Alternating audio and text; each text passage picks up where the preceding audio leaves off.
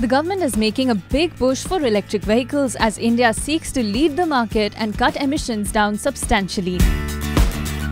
These are the ways in which the government is making it more viable for people to purchase electric vehicles.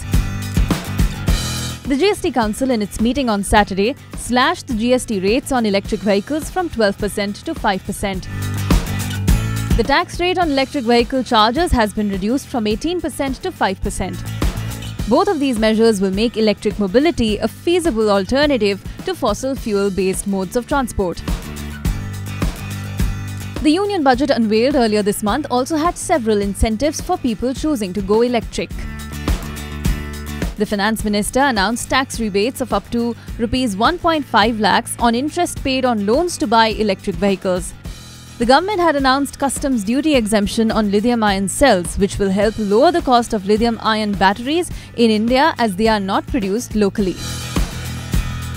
And makers of components such as solar electric charging infrastructure and lithium storage batteries and other components will be offered investment linked income tax exemptions under Section 35AD of the Income Tax Act and other indirect tax benefits.